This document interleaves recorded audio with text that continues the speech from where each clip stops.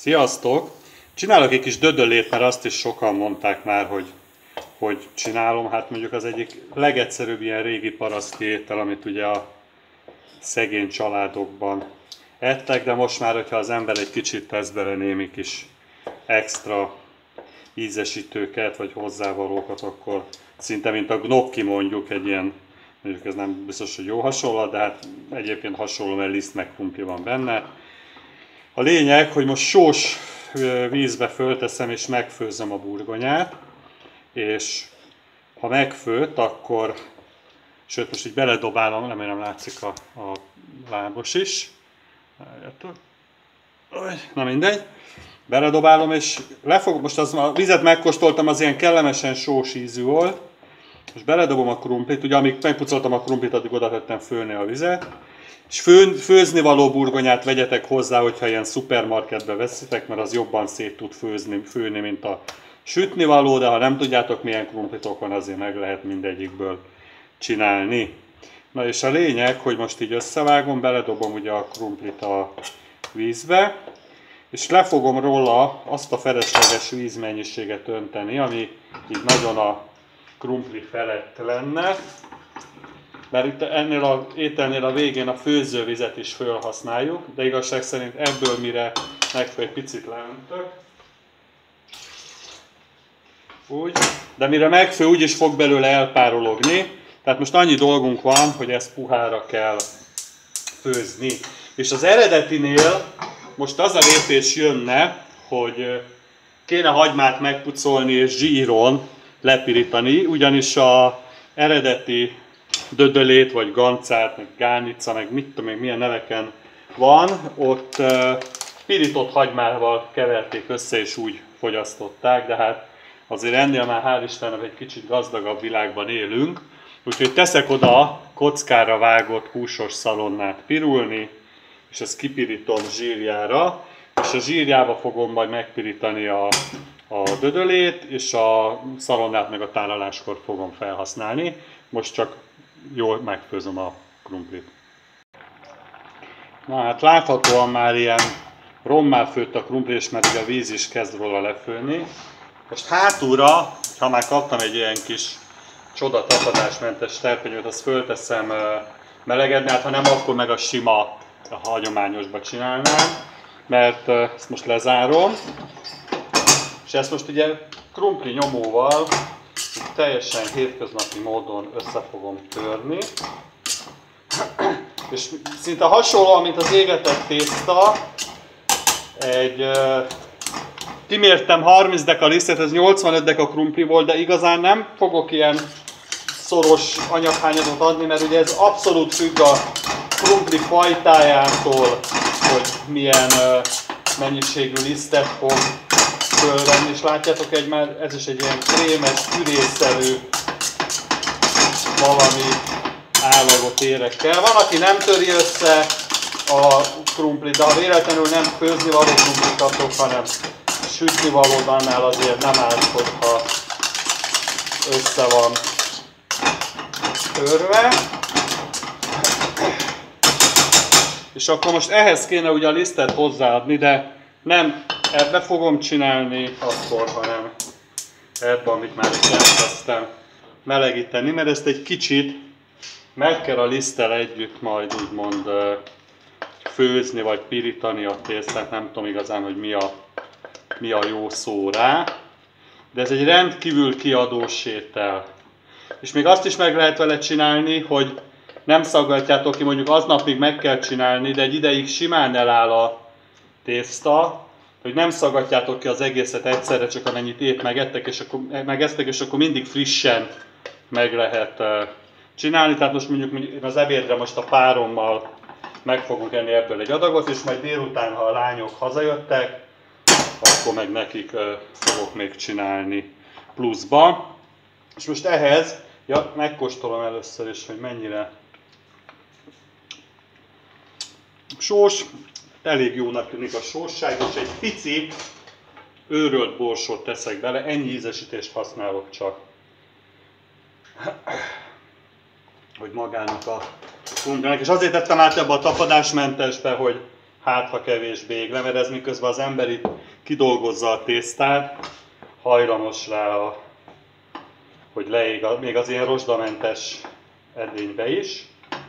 És akkor most ebből csinálunk egy ilyen jó szaggatható állagú tésztát, tehát ebből nem lesz kevés, de szereti a családunk, hogy szépen ezt most így eldolgozom, és akkor ezt jól ki kell majd pirítani. Lehet, hogy nem is kell majd bele a halmizdekalisz. Tehát ezért nem nagyon fogok anyaghányadot írni, mert ez tényleg így, amikor csináljátok, akkor fog elválni, hogy mennyi lisztet vesz fel a burgonya, mert hogy épp milyen. Ugye régen volt, hogy rózsakrumpli, meg ella, meg mit tudom én, hát most már csak ilyen csoda külföldi nevű van, amit szakás legyen a talpának is, mert hát a nagyon profik biztos ismerik, de az ilyen egyszerűek, mint én, a ilyen mélységekben nem mennek bele. Na, szóval most ebből így tűz felett csinálok egy ilyen szaggatható állagú, látjátok most már, hogy melegszik a serpenyő, szépen kezd összeállni, ilyen szaggatható állagú tésztát, de hogyha beletesztem egy, egy ilyen tapadásmentes edénybe, akkor nem ég úgy le, mint mondjuk az acél edénybe, ahogy leégett volna. Na le is zártam, most avattam el már az egész egy ilyen, egy ilyen brutál, szaggatható állagú, ilyen kis, jó kis tésztával összeállt. Most visszateszem ide, mert ezt nem akarom ugye a, a bevonatot fölkarcolni, meg, tehát ebbe egy, egy grandot nem pirult le, viszont szépen így ki tudtam főzni, vagy pirítani, nem tudom minek kell ezt hívni a tésztát, úgyhogy most jön a elkészítés. Azt a serpenyőt, amivel a szalonnát megpirítottam, azt ugye visszateszem most ide szépen melegedni, itt van még a tűzforró tészta, hogy a felesleges zsírt azt kiszedtem belőle, a szalonnát azt ugye külön kiraktam ezt a tárolásnál fogom, és ezt általában evőkanállal szoktak ilyen nagyobb ö, galuskákat, vagy nem tudom minek hívem, szaggatni, de én nem szeretem, hogyha nagyon nagy, és akkor csak egyszer megfordítják, két oldala megsül, hanem én inkább ilyen nagyobb teáskanállal szaggatok belőle, mindig belemártom a zsírba, és szaggatok belőle, picit lehet akár a kezetekbe is meg lehet formázni, ilyen kis kisebb cuccokat, és akkor ezt majd ilyen dobálva szépen megpirítom, csak szóljatok rám, hogy mártsam be mindig előtte a zsírba, tehát most annyi, hogy ilyen kis cukker, mukker. Én azért szeretem így, mert ez hasonló, mint a gnockinál, így akkor egy falat, egy, egy ízés, akkor nem kell vagdosni, hanem szépen kanállal el tudom fogyasztani. Hát most egy két adagnyit ebből bele fogok szépen szaggatni így a serpenyőbe. De ha nagyon szépen akarjátok, ugye akkor meg lehet így akár a tenyeretekkel, akár egy másik másik kanállal ilyen formájúra formázni, de ez, ez, ez olyan nem retro, hanem olyan mit tudom én milyen feeling így, hogyha nem formázgatjátok. Na, a lényeg, hogy most kiszaggatom gyorsan a két adagot. Már elfelejtettem, hogy mondtam el, hogy egy olyan 10 dekányi liszt maradt, tehát most ez a mennyiség ennyi vízzel 20 dekalisztet vett fel, de ha kicsit több a víz, ugye akkor több vizet fog fölvenni, ha a krumpli másfajta előfordul, tehát azért mondom, hogy erre nincs ilyen nagyon fix recept. Akkor ilyen szépen megpirult, akkor most ezt ugye ketté tálaltam, és mi ezt úgy szoktuk enni, hogy egy pici túrót teszek rá.